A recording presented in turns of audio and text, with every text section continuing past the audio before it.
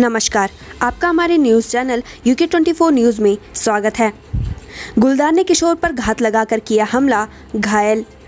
बसुकेदार तहसील के अंतर्गत पठाली धार क्षेत्र में एक बार फिर गुलदार के आतंक से ग्रामीण दहशत में मंगलवार सुबह पठालीधार रोड पर दौड़ का अभ्यास कर रहे युवक पर गुलदार ने हमला कर उसे घायल कर दिया। घायल को स्थानीय लोग सीएचसी अगस्त मुनि लाए, जहाँ प्राथमिक उपचार करने के बाद युवक को घर भेज दिया गया। भूकंप से हिली उत्तराखंड की धरती इस बार तीन दशमलव एक की तीव्रता के साथ पिथौरागढ़ था केंद्र।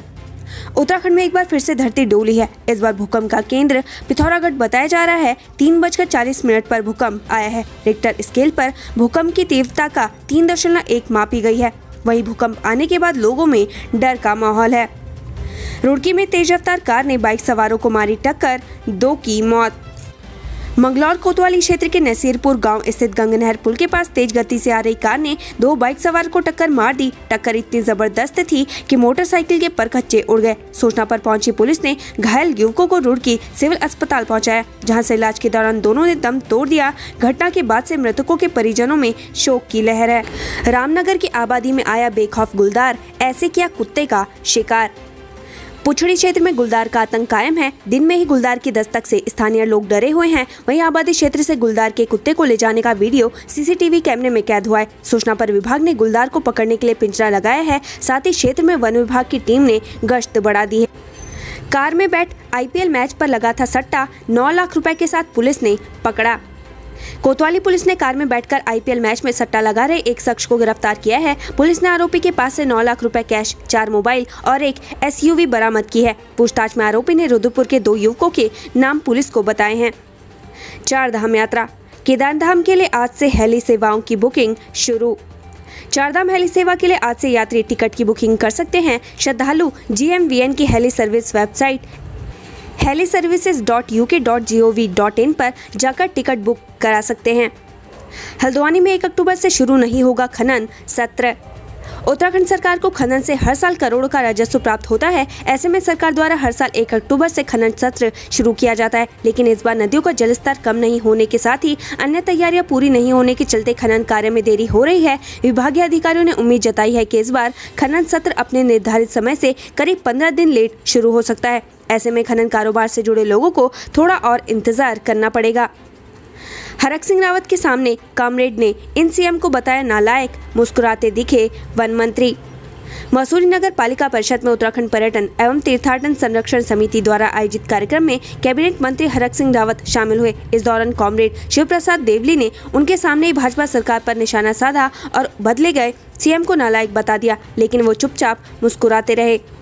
बिनसर वन्य जीव अभ्यारण्य में बिना अनुमति होटल खोलने का मामला हाईकोर्ट में 4 अक्टूबर को सुनवाई। उत्तराखंड हाईकोर्ट में अल्मोड़ा बिनसर वन्य जीव अभ्यारण्य में बिना अनुमति होटल खोलने के मामले में दायर जनहित याचिका पर सुनवाई हुई। कोर्ट ने याचिका पर सुनवाई करते हुए अगली तारीख 4 अक्टूबर नियत की है। बहन के साथ रेप मामला। दुष्कर्मी को फांसी की सजा के मामले में हाईकोर्ट में सुनवाई, फास्ट ट्रैक कोर्ट से रिकॉर्ड तलब। पिथौरागढ़ की फास्ट ट्रैक कोर्ट ने बत्तीस वर्षीय नेपाली नागरिक जनक बहादुर को पाँच वर्षीय नाबालिग सौतेली बहन के साथ छह महीने तक दुष्कर्म करने के आरोप में फांसी की सजा सुनाई है। आदेश के खिलाफ दोषी ने हाईकोर्ट में याचिका दायर की है। मामले में आज हाईकोर्ट में सुनवाई हुई। कोर्ट ने मामले में पिथौरागढ़ की अदालत से रिकॉर्ड तलब किया है। उत्तराखंड एसटीएफ की साइबर क्रिमिनल्स पर बड़ी कार्रवाई, दिल्ली से दो गिरफ़्तार। राजधानी दिल्ली में साइबर क्रिमिनल्स के खिलाफ उत्तराखंड एसटीएफ ने बड़ी कार्रवाई की है। इंश्योरेंस पॉलिसी के नाम पर लाखों करोड़ों की साइबर धोखाधड़ी करने वाले गिरोह का पर्दाफाश करते हुए एसटीएफ ने गिरोह के मास्टरमाइंड मनोज सहित दो सदस्यों को गिरफ़्तार किया है। निकाह का झांसा देकर युवती से दुष्कर्म, मुकदमा दर्ज। युवती ने पुलिस को तहरीर देकर बताया कि आरोपी शाबान, निवासी ग्राम सुल्तानपुर ने उसे चार साल पहले अपने प्रेम जाल में फंसा लिया था। इसके बाद उसने युवती को निकाह का झांसा देकर कई बार शारीरिक संबंध बनाए। रुड़की कार पार्क करना पड़ा युवक को भारी, दो पक्षों में जमकर मारपीट। रुड़की के गंगानहर कोतवाली क्षेत्र के अंबर तालाब मोहल्ले में मामूली बात को लेकर आज दो पक्षों में विवाद हो गया। कुछ ही देर में मामला इतना बढ़ गया कि दोनों पक्षों के बीच ज़बरदस्त मारपीट हो गई। इस झगड़े में दो लोग घायल हुए।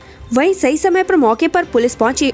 और मामला पुलिस ने शांत करवाया। दोनों पक्षों के बीच हुई मारपीट की यह घटना पास में लगे। सीसीटीवी कैमरे में कैद हो गई है। सीसीटीवी फुटेज जमकर वायरल हो रही है। आपको बता दें कि अंबर तालाब निवासी रोहित हनुमान मंदिर के पास से गुजर रहे रास्ते में फिरोज नाम के शख्स की दुकान के बाहर एक गाड़ी खड़ी थी, जिसको हटाने को लेकर कहा सुनी हो गई, जिसके बाद कुछ लोगों ने रोहित के साथ मारपीट कर दी। इसमें रोहित मामूली रूप से घायल हो गया, जिसके बाद रोहित ने अपने परिजनों को मारपीट की घटना के बारे में जानकारी दी। जानकारी पाकर रोहित पक्ष के लोग भड़क और फिरोज की दुकान पर पहुँचे और हंगामा शुरू कर दिया।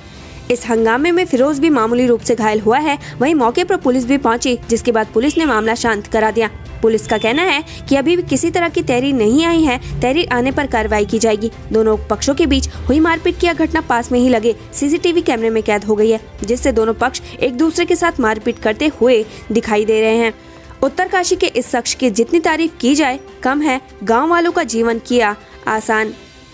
मन में अगर कुछ करने की ठान लो और पूरी शिद्दत के साथ उसे करने में जुट जाओ तो वो ज़रूर पूरा होता है। मेहनत के बल पर कुछ ऐसा ही किया। उत्तरकाशी के फुवाण गाँव निवासी गब्बर सिंह रावत ने गब्बर सिंह रावत ने सरकार को आईना दिखाने का काम किया। टिहरी में लैंड जिहाद को लेकर बवाल, अवैध ज़मीन पर बनी मस्जिद को लेकर झड़प, पुलिस से भिड़े। उत्तराखंड में इन दिनों भू कानून और लैंड जिहाद का मामला चर्चाओं में है। जिसकी चर्चा शासन से लेकर आम जनता में भी हो रही है। वहीं उत्तराखंड में कई जगहों पर इसको लेकर प्रदर्शन किया जा रहा है और सरकार से भू कानून लागू करने की मांग की जा रही है। ये मांग ज़ोर पकड़ती दिखाई दे रही है। टीरी का वीडियो वायरल। आपको बता दें कि सोशल मीडिया पर इन दिनों टीरी का एक वीडियो वायरल हो रहा है, जिसमें टीरी में अवैध ज़मीन पर बनी मस्जिद को लेकर लोग प्रदर्शन कर रहे हैं। पुलिस इनको रोकती नज़र आ रही है। इस दौरान लोगों की पुलिस से झड़प का वीडियो वायरल हो रहा है। बड़ी खबर पुलिस को थी इसकी तलाश। दो साल बाद आया हाथ। जूनाखाड़े में थाना पति के पद पर तैनात और भारतीय किसान यूनियन के प्रदेश प्रभारी रहे शिवम पुरी को गिरफ़्तार करने में आखिरकार पुलिस को सफलता हाथ लग गई है। शिवम पुरी पर कई लोगों से फर्जीवाड़ा कर लाखों हड़पने का आरोप है। लक्सर के एक युवक से शिवम पुरी ने 2018 को हरिद्वार में होटल लीज पर देने के नाम से 15 लाख लिए थे, लेकिन होटल लीज पर नहीं दिया। आरोपी ने युवक के पैसे भी वापस नहीं किए। बार बार कहने के बाद उसने युवक को पंद्रह लाख रुपए का चेक थमा दिया, लेकिन बैंक में चेक लगाने के बाद वो बाउंस हो गया। इसके बाद पीड़ित युवक ने माननीय न्यायालय का सहारा लिया। शिवम पुरी के खिलाफ तीन जनवरी 2019 को गिरफ्तारी के आदेश पारित हुए, जिसके बाद शिवम पुरी पिछले दो साल से फरार चल रहा था। 105 दिन से बंद है भारत चीन बॉर्डर की लाइफलाइन। दारमा चौदास घाटी का मुख्यालय से कटा संपर्क भारत चीन सीमा को जोड़ने वाली तवा घाट तेदांग रोड 105 दिन से बंद है। रोड बंद होने से दारमा और चौदास घाटी के 50 गाँवों का संपर्क दुनिया से कटा हुआ है। इस कारण तीस हज़ार लोग प्रभावित हो रहे हैं। खटीमा में माँ के साथ बैठे मासूम को उठाकर ले गया गुलदार, दहशत में ग्रामीण। नानक मता के विडोरा मझोला गाँव में माँ के साथ बैठे चार वर्षीय मासूम को गुलदार उठाकर ले गया। मासूम गंभीर हालत में एक खेत में मिला, जिसे परिजन अस्पताल ले गए, लेकिन तब तक उसकी मौत हो गई थी। इस घटना के बाद ग्रामीण दहशत में है। वहीं नानक मता विधायक प्रेम सिंह राणा ने वन विभाग को गुलदार को पकड़ने और मृतक के परिजनों को सहायता राशि देने की निर्देश दिए हैं।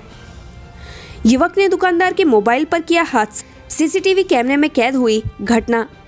लंडौर में कपड़े की दुकान से मोबाइल चोरी का मामला सामने आया है। चोरी की यह पूरी घटना सीसीटीवी कैमरे में कैद हो गई। वहीं दुकानदार की तहरीर पर पुलिस मामले की जाँच में जुट गई है। अमृत महोत्सव। एसएसबी की साइकिल रैली हल्द्वानी से दिल्ली रवाना। जोश में लबरेज। जवान आज़ादी की पिछहत्तरवीं वर्षगांठ को देश भर में आज़ादी का अमृत महोत्सव के रूप में मनाया जा रहा है। इसी अमृत महोत्सव के तहत एसएसबी की ओर से साइकिल रैली भी निकाली जा रही है। डीडी हाट से निकली साइकिल रैली हल्द्वानी से दिल्ली के लिए रवाना हो गई है। उत्तराखंड से संबंधित ऐसी खबरें पाने के लिए हमारे चैनल को लाइक व सब्सक्राइब ज़रूर करें। धन्यवाद।